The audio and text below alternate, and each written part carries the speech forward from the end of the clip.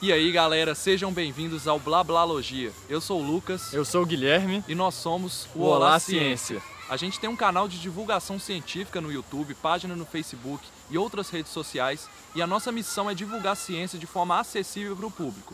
Há algum tempo começou lá no canal uma série sobre cientistas brasileiros. A gente foi para a rua e perguntou para as pessoas: Vocês sabem dizer o nome de três cientistas brasileiros? E acabou que o pessoal realmente não sabia falar. A gente, com o nosso propósito de divulgar a ciência de qualidade que é produzida aqui no Brasil, começou a falar sobre cientistas brasileiros e trouxemos essa série aqui para o Blablalogia.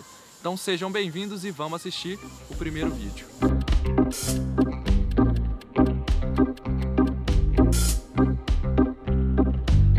Imagine uma cientista que alavancou o Brasil como nenhum outro jamais fez uma mulher curiosa que simplesmente desenvolveu um meio de economizar um bilhão de reais por ano na agricultura.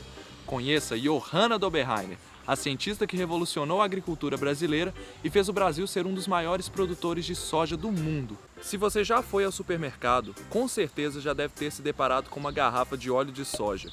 Se você então é vegetariano, hum, a soja faz muita diferença na sua vida. Leite de soja, carne de soja, pasta de soja, grão de soja. Se hoje esses produtos têm um preço acessível e estão amplamente distribuídos nas prateleiras, boa parte disso se deve ao trabalho de Johanna Doberheiner. Ela nasceu na Tchecoslováquia em 1924.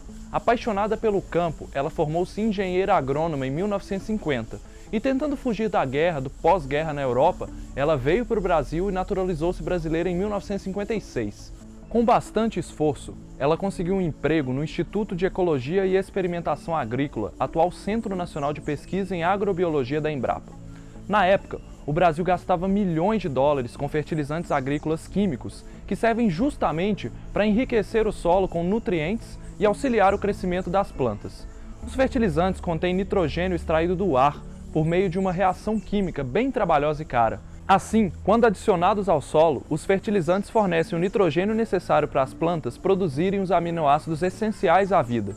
Esse processo, chamado fixação química de nitrogênio, é também realizado por bactérias, mas naquela época pouco se sabia sobre isso.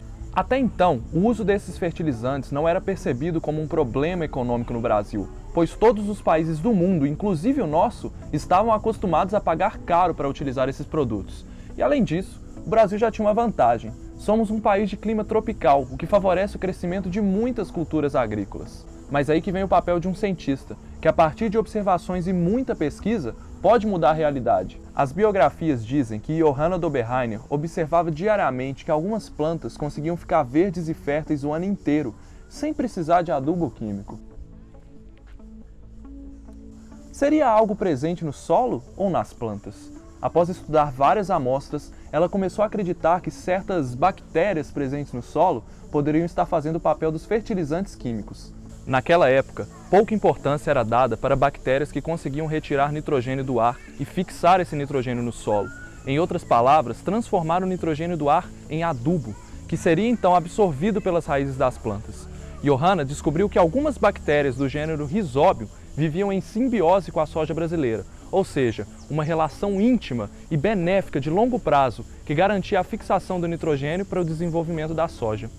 E se ela desenvolvesse um meio de incorporar essas bactérias no solo infértil, será que seria possível substituir os fertilizantes químicos? Foi exatamente isso que ela fez. Após testar muitas bactérias na fertilização de plantações de soja, a cientista demonstrou que o Rhizobium era a bactéria ideal para atuar em conjunto com a soja brasileira, a pesquisa evoluiu para outros tipos de plantas. Com o avanço das tecnologias para a detecção dessas bactérias fixadoras de nitrogênio, Johanna Doberheiner trabalhou na descoberta e utilização de bactérias para melhorar o cultivo de milho, arroz e triplicou a produção brasileira de bioetanol a partir da cana-de-açúcar. As pesquisas de Johanna não só fizeram o Brasil se tornar o segundo maior produtor de biodiesel, bioetanol e soja do mundo, como a levaram a ser diretora da Academia Brasileira de Ciências rendendo também uma indicação ao Prêmio Nobel em 1997. Agora você já sabe o que essa cientista fez pelo Brasil para colocar muitos produtos à sua disposição. Muitas vezes, a gente não sabe o poder que a ciência tem de mudar o cenário de um país. Imagine o tanto de coisas que poderíamos descobrir se tivéssemos mais valorização do trabalho de outras Johannas por aí. Johanna Doberheiner mostrou que com paixão pela pesquisa é possível mudar a realidade de milhões de pessoas, além de inspirar jovens curiosos que, como você, vão clicar no gostei aí embaixo e mandar um hashtag Valeu Johanna.